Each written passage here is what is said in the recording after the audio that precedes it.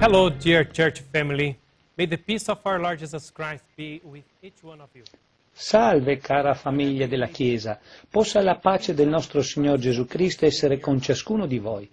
Prego che ovunque siate possiate godere della presenza dello Spirito Santo nel vostro cuore.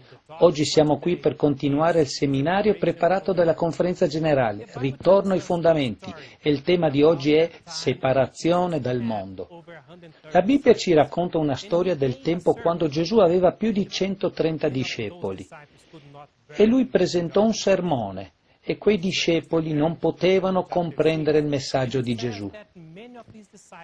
È scritto in Giovanni 6, lì sta scritto che molti dei suoi discepoli da quel momento in poi non poterono più camminare con Gesù e si abbandonarono Gesù. Come ho detto, egli aveva più di 130 discepoli e soltanto 12 rimasero con lui. Quale fu la differenza tra i 12 discepoli che rimasero con Gesù e gli altri quasi 130 che lo abbandonarono? La differenza fu che quei dodici discepoli camminarono più vicino a Gesù, sperimentarono Gesù e sapevano chi era Gesù, a tale punto che in quel giorno, quando Cristo entrò a Gerusalemme, essi citarono per lo Spirito Santo la profezia riguardo Gesù. Chi era Gesù per loro? Chi era Gesù per l'universo? La speranza dell'uomo, pagina 438. Adamo vi dirà che è la progenie della donna che schiaccerà il capo del serpente. Abramo vi risponderà che Melchisedec, re di Salem, re di pace. Giacobbe vi dirà che egli è colui che appartiene alla tribù di Giuda e vi dirà riposo. Isaia vi dirà che è l'Emanuele, consigliere ammirabile, Dio potente, Padre eterno, principe della pace. Geremia vi dirà che è il germoglio di Davide, l'eterna nostra giustizia. Daniele vi dirà che è Messia. Osea vi dirà che egli è l'Iddio degli eserciti, il suo nome è l'Eterno. Giovanni Battista vi dirà che è l'agnello di Dio che toglie il peccato del mondo. L'Eterno ha proclamato dal suo trono, questo è il mio diletto figliolo.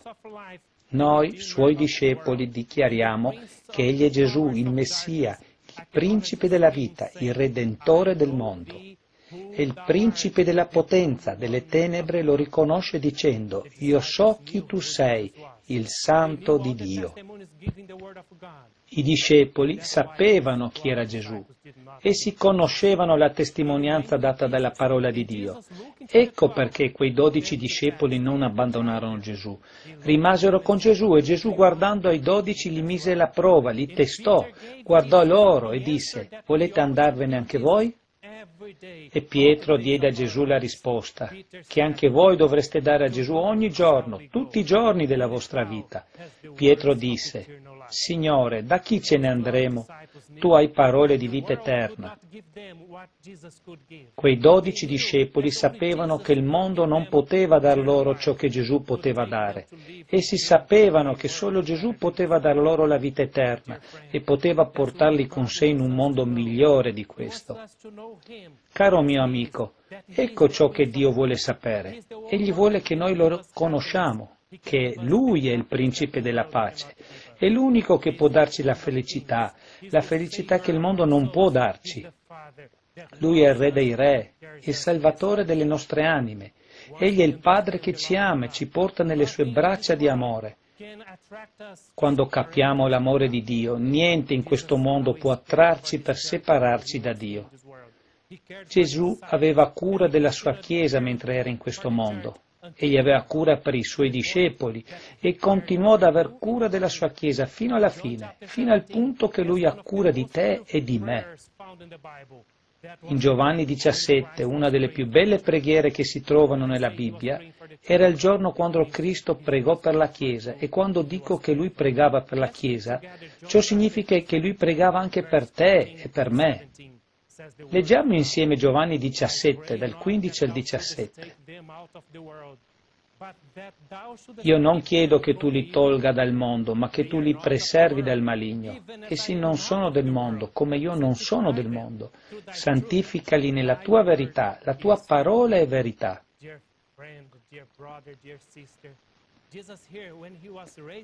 Caro amico, caro fratello, cara sorella, Gesù qui, quando innalzò questa preghiera al Padre, egli aveva in mente te e me. Egli pregò al Padre, Padre, liberali dal male. Per loro non è ancora il tempo di lasciare questo mondo. Essi devono compiere qui una prova.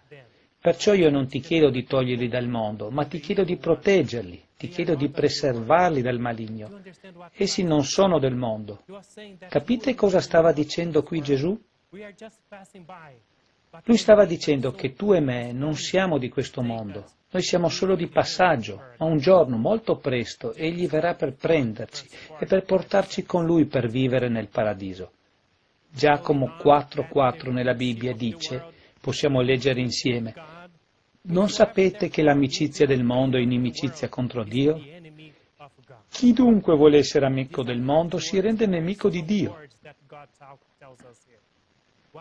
Questo è forte per il Signore ci dice qui delle parole forti. Cosa significa questo? Dio vuole che noi capiamo una cosa. Quando ci avviciniamo al mondo diventiamo nemici di Dio. La Bibbia non ci dice qui, il Signore non ci dice qui, se vai col mondo io non voglio saperne più niente di te. Io divento il tuo nemico, non avrò più cura di te. Non è questo ciò che dice questo versetto. Comprendiamo cosa vuole dire qui il Signore. Coloro che diventano amici del mondo, essi diventano nemici di Dio. Siamo noi che diventiamo nemici di Dio, non è Lui che diventa il nostro nemico. Noi diventiamo Suoi nemici quando ci avviciniamo al mondo. Ma il Signore vuole dire qui, più ci avviciniamo al mondo, meno abbiamo bisogno di questo Padre che ci ama. Più ci sviamo lontani da Lui, più il mondo, le cose di questo mondo, hanno questo potere di separarci da Dio. Dio, col suo amore, la sua grazia e la sua misericordia, ci dice qui, non avvicinarti al mondo, perché diventerai mio nemico. Tu diventerai il mio nemico, nonostante tutto l'amore che ho per te nonostante tutto ciò che faccio per salvarti. Tu non sentirai il bisogno di essere salvato se ti avvicinerai al mondo, se diventerai amico del mondo. In 1 Giovanni 2,15 Dio ci parla di nuovo e ci implora dicendo non amate il mondo, né le cose che sono nel mondo. Se uno ama il mondo, l'amore del Padre non è in lui, perché tutto ciò che è nel mondo, la concupiscenza della carne, la concupiscenza degli occhi e la superbia della vita, non è dal Padre, ma è dal mondo. E il mondo passa con la sua concupiscenza. A chi fa la volontà di Dio rimane in eterno.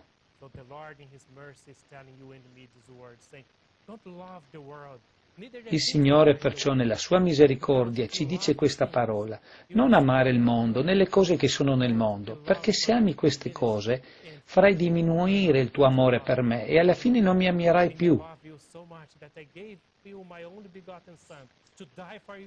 Io ti amo così tanto che ho dato il mio unigenito figlio a morire per te sulla croce del Calvario.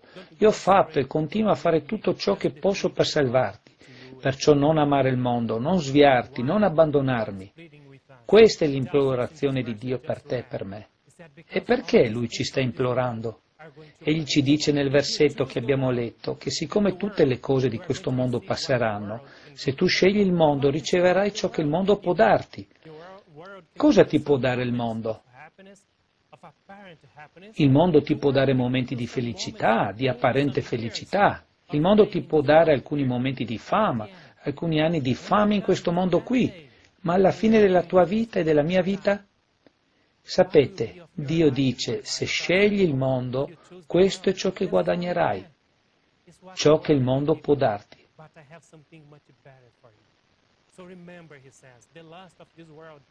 Ma io ho qualcosa di molto migliore per te. Solo ricordati, dice lui, la concupiscenza del mondo passa L'amore per il mondo passa, tutto in questo mondo ha una fine, ma io ho una vita per te senza fine, una vita che non può essere paragonata con niente in questo mondo, una felicità che niente in questo mondo può tenerla. Quando capisci l'amore di Dio per noi, noi comprendiamo le parole di Pietro. Signore, da chi ce ne andremo? Tu hai parole di vita eterna. Pietro e quei dodici discepoli compresero qualcosa che quegli altri quasi 130 discepoli non poterono comprendere. Pietro e quegli altri undici discepoli capirono che era meglio essere schiavi o prigionieri in questo mondo con Gesù che essere re in questo mondo senza Gesù Cristo. Quando ci ricordiamo dei prigionieri del tempo passato come Geremia, Giovanni Battista, essi erano in prigione, ma ora essi hanno la vita eterna nascosta con Cristo, che darà loro nel giorno della resurrezione. Vi ricordate di quei re che erano in quei giorni come Erode? Dove è Erode oggi? Meglio essere prigioniere come Giovanni Battista che essere un re come Erode. I discepoli lo capirono. Ecco perché dissero noi non vogliamo andare da nessuna parte. Noi rimaniamo con te, Signore, perché solo tu hai la vita eterna, solo tu hai la parola della vita eterna. L'ispirazione dice nel quinto volume delle testimonianze, pagina 602, c'è una linea distinta tratta da Dio stesso tra il mondo e la Chiesa, tra gli osservatori dei comandamenti e i trasgressori dei comandamenti.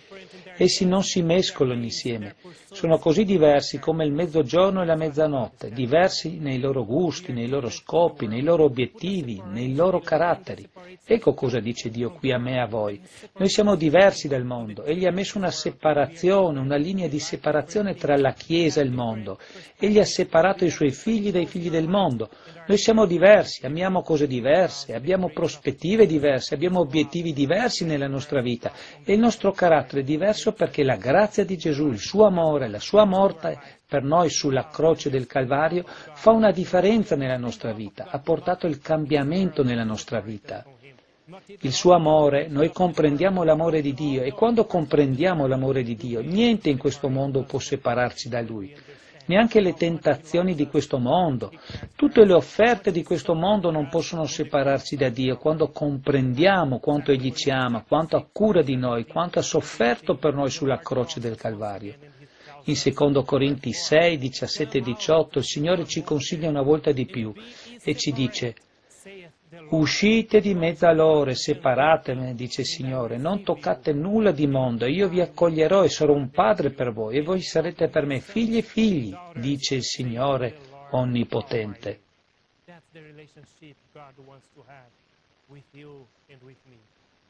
Questa è la relazione che Dio vuole avere con voi e con me, una relazione tra padre e figlio, una relazione tra padre e figlia. E Dio sta dicendo a te e a me, separati dal mondo, così potrai capire mio amore, separarti dai piaceri di questo mondo, dalla tendenza di questo mondo, così non ti svierai da me, perché io ti voglio vicino al mio cuore. L'invito di Dio è separati dal mondo.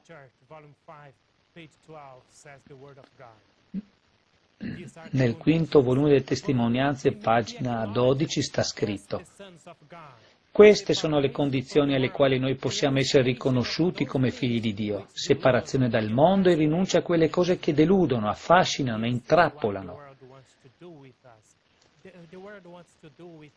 Questo è ciò che il mondo vuole fare con noi, ciò che il mondo vuole fare con te e con me, è deludere, affascinare, intrappolare.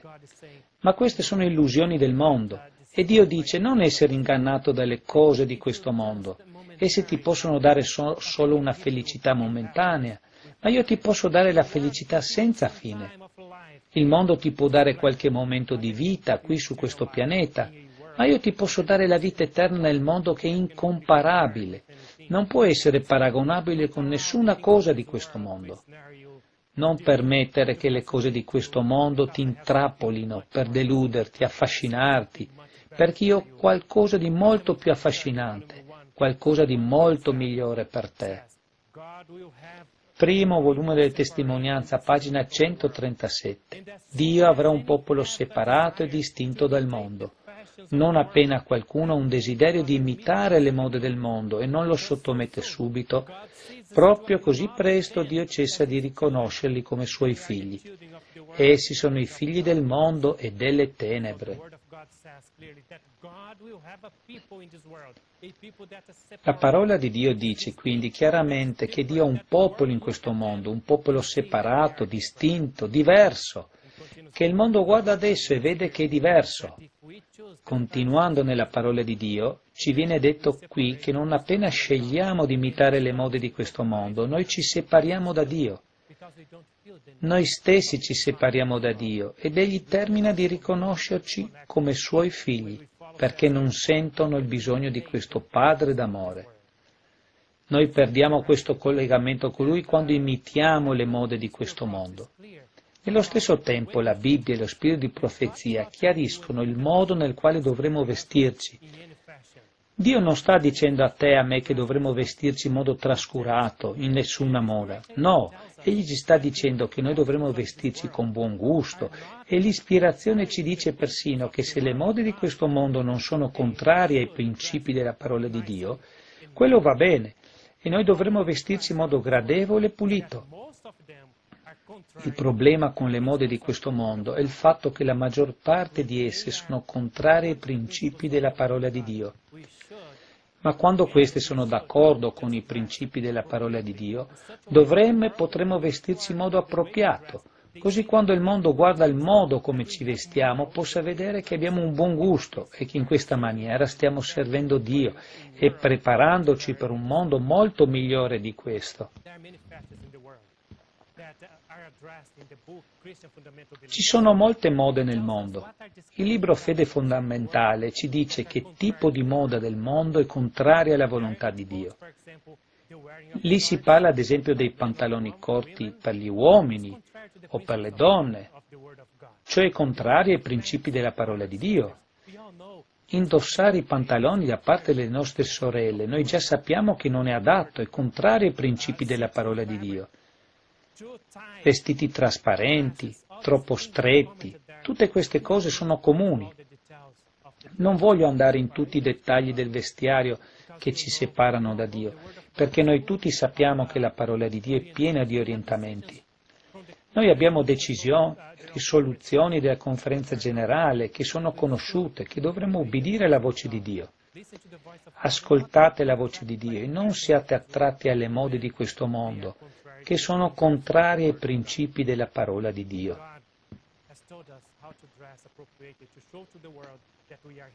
Dio ci ha detto come vestirci in modo appropriato per mostrarci al mondo che noi siamo suoi figli. Ma voglio dirvi una cosa. Noi pensiamo di osservare il sabato in tale maniera che il mondo possa capire che siamo diversi dal mondo? Noi dovremmo avere una buona dieta, mangiando diversamente dal mondo, che quando il mondo ci guarda vede che noi mangiamo per la gloria di Dio. Noi ci prendiamo buona cura dei nostri corpi e dovremo vestirci nel modo come ci dice la parola di Dio. Ma tutte queste cose possono essere compiute solo attraverso la grazia di Gesù Cristo. Io non so quali sono le difficoltà che affrontate oggi per separarvi dal mondo. Può essere l'osservanza del sabato, può essere qualche difficoltà che avete nella vostra dieta, può essere qualche difficoltà che avete nel vostro vestiario, qualche difficoltà che avete con la decima, le offerte. Ma voglio dirvi qualcosa. Voi potete fare tutti gli sforzi, tutti gli sforzi umani possibili. Potete anche piangere nel vostro dolore, perché sapete che state facendo qualcosa di sbagliato. Ma il segreto del successo non è nel vincere queste cose, ma il segreto è in Gesù Cristo. E nel camminare con Lui, parlare con Lui, leggere la Sua parola, pregarlo e guardare al Calvario affinché tu e io serviamo Dio nella maniera che Lui vuole che lo serviamo. Separarsi dal mondo in tale maniera che avremo quella comunione che ci porterà alla vera felicità nella nostra vita. Primo volume delle testimonianze, pagina 133. Gesù sta per venire. Troverei un popolo conformato al mondo? Riconoscerà costoro come suo popolo che egli si è purificato per se stesso? Oh no! E qual è il popolo che egli riconoscerà come suo? Egli riconoscerà come suoi solo i puri e santi, egli possederà come suoi coloro che sono stati purificati, imbiancati attraverso le sofferenze e si sono mantenuti separati, immacolati dal mondo. Egli vuole un popolo che abbia fatto un patto con Cristo tramite il sacrificio, un popolo che tramite il sacrificio di Cristo ha accettato il vestito bianco che il Signore ci fornisce.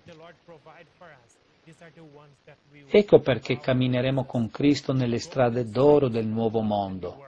Come ho detto, noi possiamo metterci tutti gli sforzi umani, ma senza Gesù noi siamo come i tralci di un albero tagliato, che si seccano e muoiono. Abbiamo bisogno della grazia di Gesù e di comprendere l'amore di Dio e solamente comprendendo questo amore di Dio e contemplando Gesù sul Calvario ci può dare la forza di cui abbiamo bisogno per vincere quelle cose che ci avvicinano al mondo e ci allontanano da Dio. Voglio continuare a leggere il quarto volume delle testimonianze, pagina 641. Le nostre parole le nostre azioni e il nostro vestiario sono dei predicatori quotidiani viventi che raccolgono per Cristo oppure disperdono.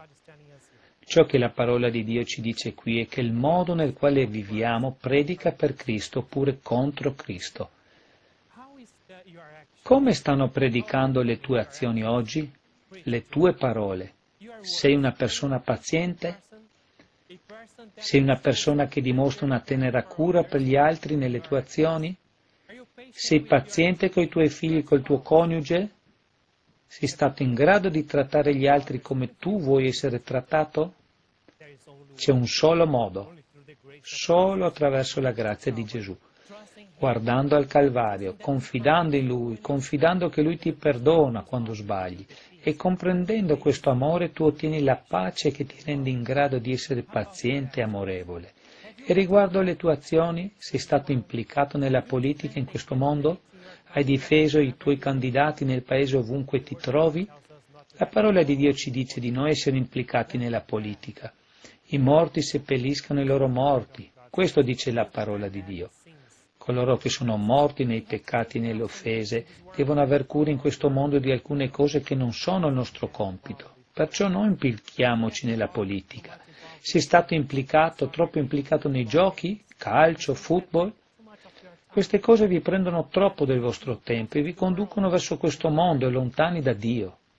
Hai trascorso troppo tempo giocando sul computer o sul cellulare? Queste cose ci portano vicino al mondo e ci allontanano da Dio. Le nostre parole, le nostre azioni, il nostro vestiario sono predicatori quotidiani che raccolgono per Cristo o disperdono. Quali sono le difficoltà che hai nella tua vita per vivere la parola e avvicinarti a Gesù? Un giorno il Signore ci ha chiamati dal mondo e ci ha dato il privilegio di venire nella Chiesa Oggi egli è preoccupato perché ci siamo allontanati da lui, ci siamo avvicinati al mondo. C'è qualcosa nella tua vita che ti trattiene dall'avere una migliore comunione con Gesù Cristo per sentire di più la sua presenza nella tua vita? Io non so quali lotte stai affrontando, io non so quali sono le difficoltà che hai nella tua vita, ma Gesù lo sa. Quando sono venuto la prima volta nella Chiesa c'erano alcune cose nella mia vita che erano difficili da lasciare Ero un mangiatore di carne e questo non è facile da lasciare. Era un giocatore di calcio.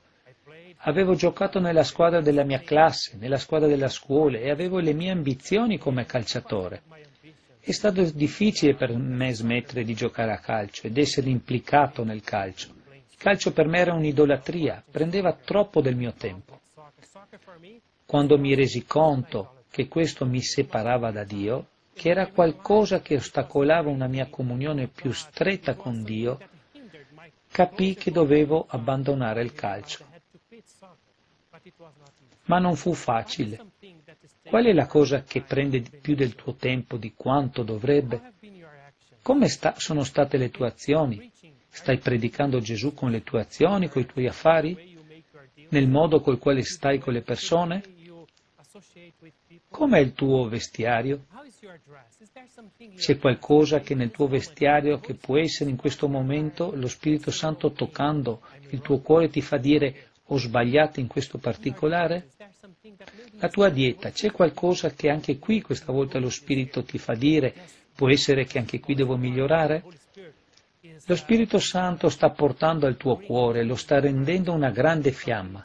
Lo Spirito Santo rimuova dalla tua vita quelle cose che ti avvicinano al mondo e ti faccia avvicinare a Gesù Cristo.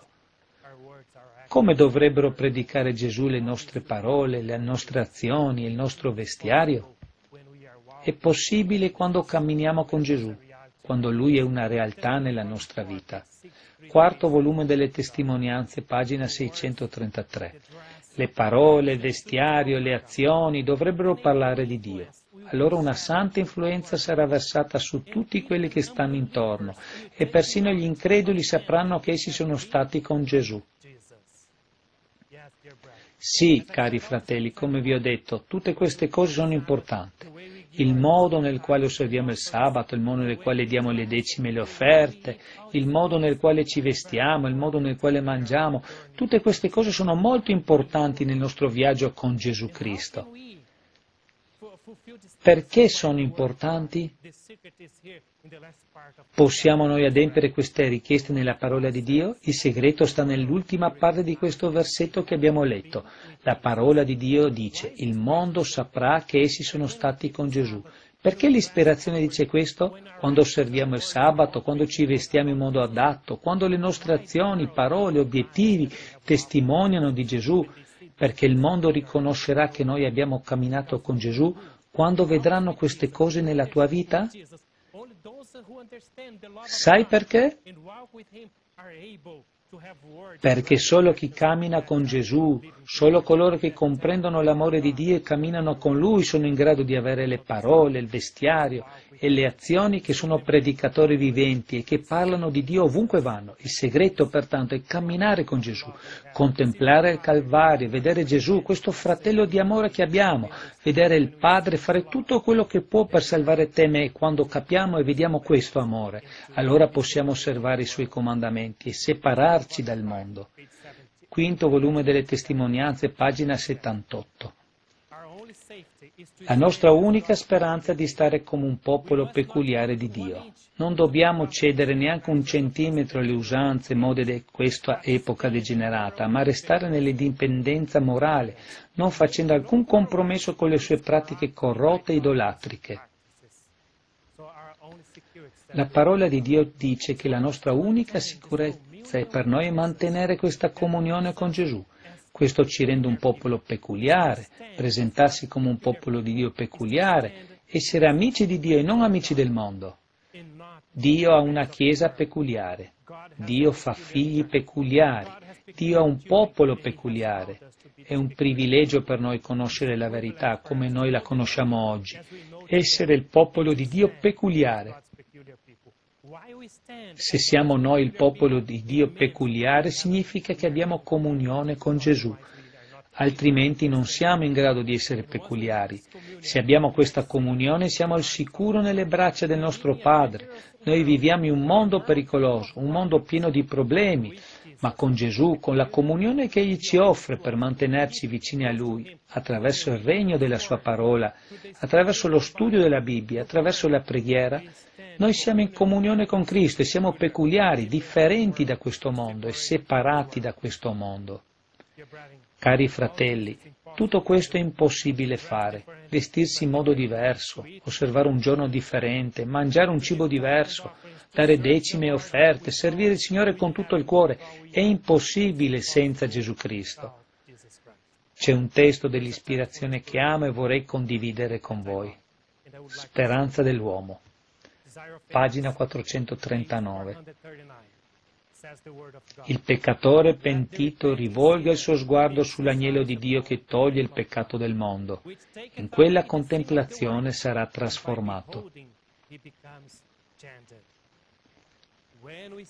Quando contempliamo Gesù, l'uomo che ha sperimentato dolore e sofferenza mentre opera per la salvezza dei perduti, disprezzato, schernito, deriso, pronto ad andare da una città all'altra, fino al compimento della sua missione, quando noi lo contempliamo nel Getsemani mentre suda gocce di sangue, sulla croce, nell'agonia della morte, quando lo contempliamo così, allora il nostro io non cerca più la propria esaltazione. Guardando Gesù ci vergogniamo della nostra freddezza, del nostro torpore, del nostro egoismo. Siamo lieti di essere qualsiasi cosa o anche niente per adempiere con tutto il cuore il servizio del Maestro. Ci rallegriamo di portare la croce dietro a Gesù e sopportare prove, offese e persecuzioni per il suo amore. Pertanto, cari amici, cari fratelli, care sorelle, cosa c'è che vi separa ancora da Dio, che vi ostacola da essere più vicini a Lui? Vale veramente la pena che il mondo ci separi da Dio? Noi tutti sappiamo che non vale la pena. Noi lo sappiamo. Noi vogliamo essere liberi dal mondo, vogliamo essere separati dal mondo e la soluzione sta qua. Fissate i vostri occhi su Gesù. Guardate a colui che porta la croce sul Calvario, contemplatelo nel Getsemane sudando sangue quando portava i tuoi peccati e i miei peccati. Accompagnalo con quella pesante croce sulle sue spalle che portava sul Calvario, con quella corona di spine posta sul suo capo, sanguinando sulla testa. Contemplalo inchiodato sulla croce, contemplalo appeso sulla croce morire per te e per me.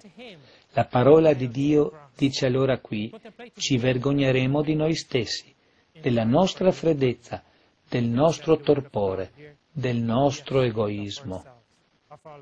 Ti vergogni che ci sono molte cose nella tua vita che il Signore dice a te a me di abbandonare? Quel cibo che danneggia la tua salute, quei vestiti che non glorificano il mio nome? Osserva il sabato, è una benedizione per te e alle volte noi vediamo che tutte queste cose sono così difficili, ma quando contempliamo Gesù Cristo morire per noi sul Calvario, tutte queste cose spariscono. Ci vergogniamo di noi stessi vogliamo veramente essere qualsiasi cosa o anche niente per la gloria di Dio, affinché possiamo servirlo con tutto il nostro cuore. Ci rallegriamo di portare la croce seguendo Cristo, sopportando le prove, la vergogna, le persecuzioni per amore di Lui. Noi vogliamo comprendere che è meglio essere prigionieri con Gesù che essere principi senza Gesù Cristo. Vorrei concludere questo sermone oggi con questo messaggio, oggi con un testo di Christ Triumphant, pagina 22. Tutti coloro che sono uniti con Cristo usciranno dal mondo e saranno separati. Ecco il segreto per separarsi dal mondo essere uniti con Gesù Cristo. Essi non entreranno nel mondo tramite nessuna loro scelta. Egli invita ogni anima, venite a me voi tutti che siete stanchi e aggravati, e io vi darò riposo. Vuoi essere unito con Gesù Cristo? Vuoi camminare con Gesù? Sei stanco di questo mondo? Sei già sufficientemente deluso di questo mondo? Se sei stanco di questo mondo, Cristo invita te e me. Vieni a me, tu che sei stanco e aggravato, io ti darò riposo. Gesù ti offre oggi, in questo momento, il riposo che il mondo non ti può dare. Egli ti offre la felicità che il mondo non ti può dare Egli ti offre una vita che il mondo non ti può dare. Egli ti offre vita in abbondanza. Egli ti offre la vita eterna e la felicità senza fine. Solo accetta il suo invito. Lascia il mondo, separati dal mondo. Permetti che Lui ti dia la grazia e la potenza per vincere quelle piccole cose che ancora ti separano da Lui, che ti ostacolano ad avere una comunione più stretta con Lui. Possa la grazia di Gesù essere sufficiente per me e per te. Possa Egli darci la sua potenza per separarci dal mondo, per essere vincitori in Lui. Possa Gesù essere una realtà nella tua vita e nella mia vita e possiamo noi presto credere in Lui in un mondo molto migliore di questo. Amen.